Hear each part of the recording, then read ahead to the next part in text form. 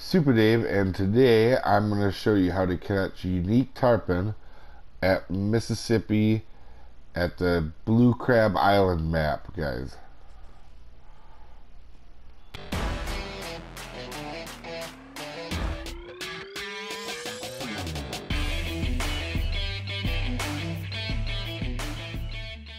There are three or four spots that you can catch the unique tarpon at.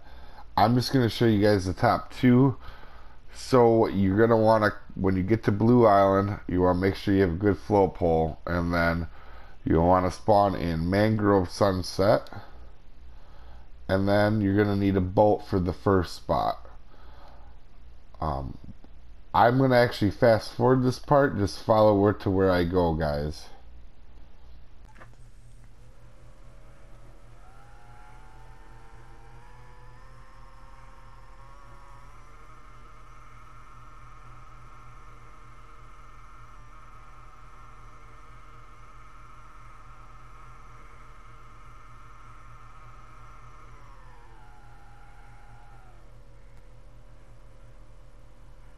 Alright, once you get to the spot, you're going to want to tuck your boat in right over here.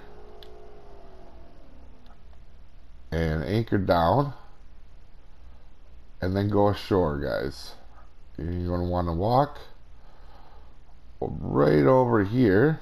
And you can see my my little markers here where we're going to throw. And real quick before we throw I'm going to show you what I'm using I'm using shiners on a 8 hook with a pear shape. Now, honestly, the bobber really isn't going to matter a lot unless you're fishing in the dark, which you can use this spot to fish in the dark, guys, by the way, if, if you want to.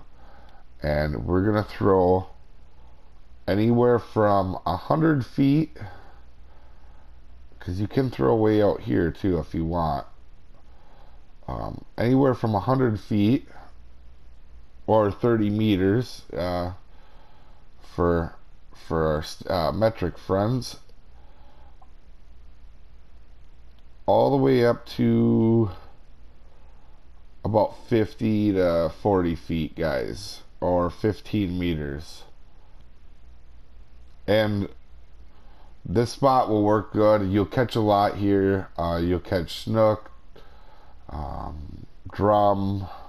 You'll catch a lot here. It won't just be uh, it won't just be tarpon, guys. That's why this is probably my second favorite spot, not my favorite spot. Also, guys, you don't have to have the uh, you don't have to have your leader depth down to the bottom. I find that anywhere from 50 inches down to 20 works fine. They're not necessarily just at the bottom of the water. So 127 centimeters or less, guys, for your leader line um, for the our metric friends. And like I said, you'll catch other things here, um, including permit, drum. I mean, you you get quite a bit. Snook,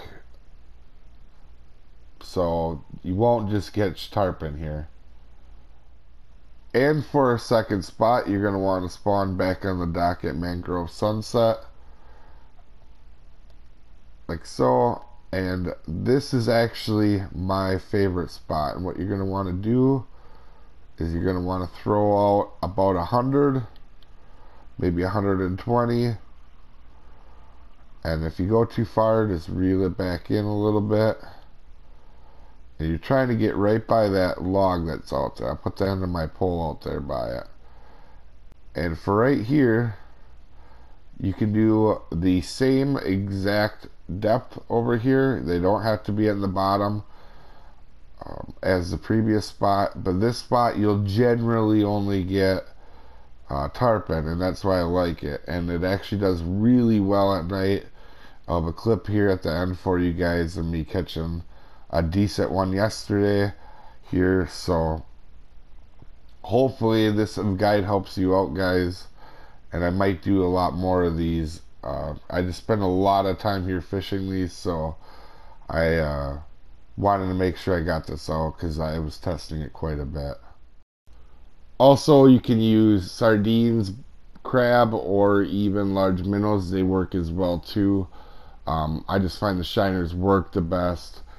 So hopefully, guys, this helps you out. I'm trying to get new stuff out because Fish Planet seems to be a little outdated on their videos. So throw a thumbs up if you like it so others can see it, guys.